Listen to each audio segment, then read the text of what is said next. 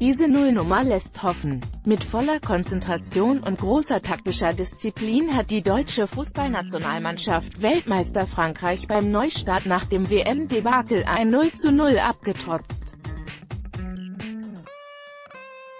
In einer mutigen Schlussphase wäre bei vielen Chancen sogar ein Sieg möglich gewesen. Zum Auftakt der neuen Nations League setzten die entthronten Titelträger die Forderung von Bundestrainer Joachim Löw nach Stabilität und neuer Leidenschaft konsequent um. Als Lohn gab es in der mit 67.485 Zuschauern ausverkauften Münchner Allianz Arena immerhin einen Punkt, der in dem neuen Wettbewerb vor den schweren Auswärtspartien in Holland und Frankreich im Oktober alle Möglichkeiten offen lässt. Nach dem Teilerfolg zum Neustart geht es für die Löw-Auswahl am Sonntag im Test in Sinsheim gegen Peru weiter, wenn der Bundestrainer personell wohl mehr experimentieren wird, größer als größer als die DFB-Noten zum Nations League-Spiel gegen Frankreich, das war ein erster Schritt. Wir haben gut umgesetzt, was wir uns vorgenommen haben, sagte Toni Kroos, der vor dem Spiel als Deutschlands Fußballer des Jahres geehrt worden war. Ähnlich saß Thomas Müller, das erste Zeichen und Signal war positiv. Es war kein technisch perfektes Spiel. Wir haben uns dafür entschieden, dass die Null auf jeden Fall steht. Es geht darum, den Kredit so zurückzuholen, den wir im Sommer verspielt haben. Auf diesen Auftritt könne man aufbauen, ergänzte Mats Hummels, ich glaube, dass wir die Lehren aus der WM gezogen haben.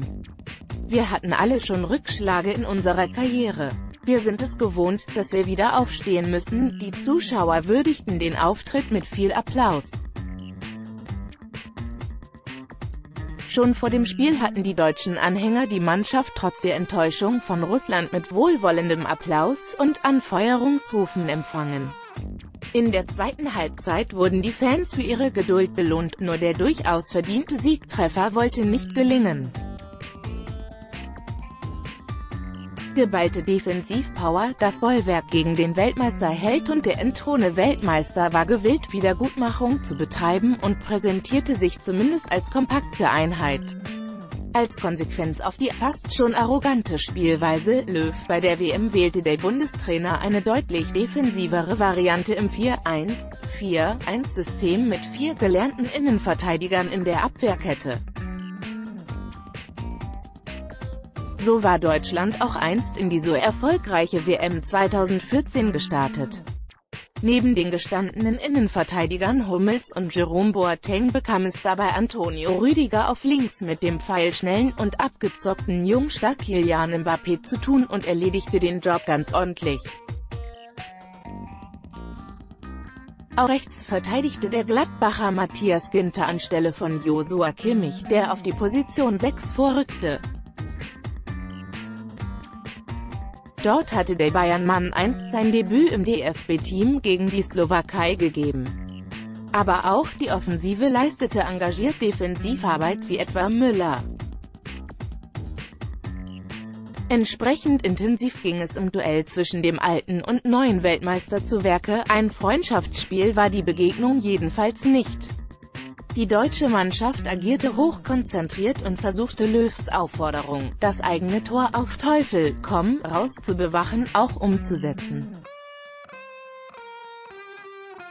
Schließlich stand auf der Gegenseite der Weltmeister, der bis auf den Torhüter Alphonse Areola für den verletzten Hugo Lloris, mit der gleichen Startelf wie im WM-Finale antrat.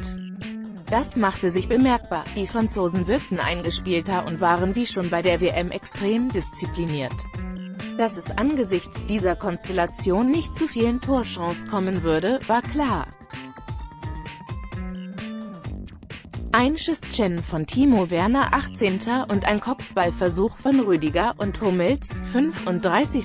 waren im ersten Durchgang noch die besten Torannäherungen auf deutscher Seite. Viel ließ die Equipe Tricolore nicht zu. Kos versuchte mal mit Diagonalbällen für Überraschungsmomente zu sorgen, aber ohne Erfolg. So hatten Werner und Marco Reus einen schweren Stand. Auf der Gegenseite prüften Olivier Giroud per Kopf, 36. und Mbappé mit einem eher harmlosen Freistoß 43. den deutschen Keeper Manuel Neuer. Kurz vor der Pause sorgte noch einmal Giroud per Hackentrick für Gefahr, 45. 1. Royce, Hummels und Müller mit großen Chancen Interessanter wurde es bei einsetzendem Regen in der zweiten Halbzeit, als beide Mannschaften, womöglich auch wegen der schwindenden Kräfte, zu mehr Chancen kamen. Die DFB 11 konnte sich auf Neuer verlassen, der zweimal gegen Antoine Griezmann parierte, 49. und 64. Im direkten Gegenzug nach dem zweiten Versuch des französischen Torjägers bot sich Marco Reus die große Chance zur deutschen Führung, als er Areola zu einer Parade zwang. Ebenso musste der PSG-Keeper bei einem Schuss von Hummels eingreifen, 72.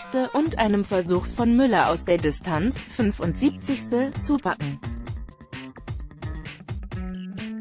Zwischendurch hatte Löw versucht, mit der Hereinnahme von Ilkay Gündogan einen neuen Impuls zu setzen. Ein besonderer Moment auch für den Mittelfeldspieler, der vor der WM noch wegen des umstrittenen Fotos mit dem türkischen Präsidenten Recep Tayyip Erdogan angefeindet worden war. Punkt. Diesmal gab es bei seiner Einwechslung einige Pfiffe, größtenteils Applaus.